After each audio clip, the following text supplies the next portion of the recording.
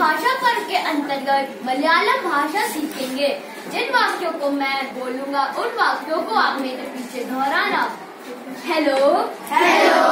नमस्कारम। नमस्कारम। What is your name what is